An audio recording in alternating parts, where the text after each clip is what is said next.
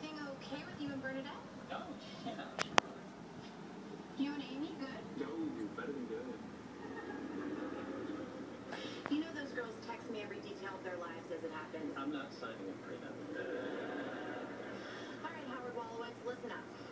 You sign anything she puts in front of you because you are the luckiest man alive.